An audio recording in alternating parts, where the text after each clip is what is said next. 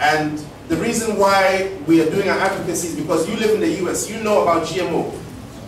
The US was the first country to release GMO to the world and produce it, yet you know what's happening with GMO.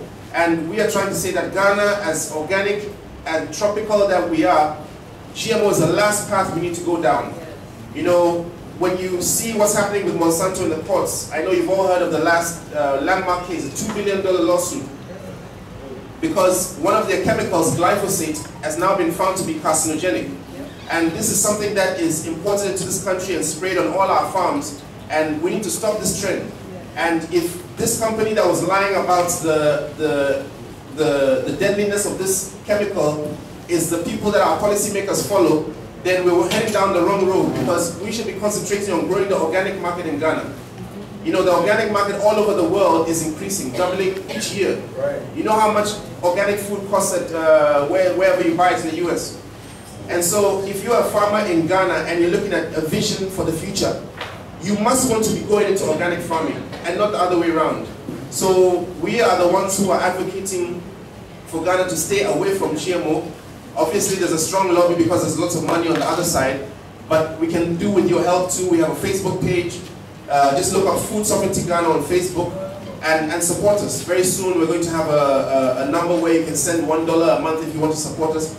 But all the, the, the, the, the, bad money is on the other side, and very few people support these kind of um, you know, missions. So if you want to come back to Ghana and find the kind of fruits and vegetables, the, the herbs and spices that your great-great-grandfathers ate, mm -hmm. then this is the kind of move that we need to do to, to save the seeds and leave business out of food.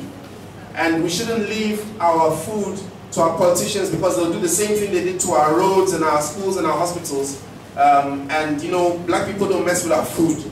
So please support Food Sovereignty Ghana and thank you very much. Enjoy your stay in Ghana. Visit our table, Black Star Line, long live Marcus Garvey.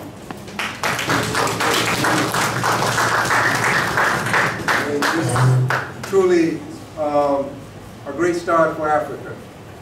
Growing our own food, educating our people to the dangers of all of these scientific concoction, aka devil's food, because when you eat devil's food, what happened to you? You become a devil. Okay, let's make it plain.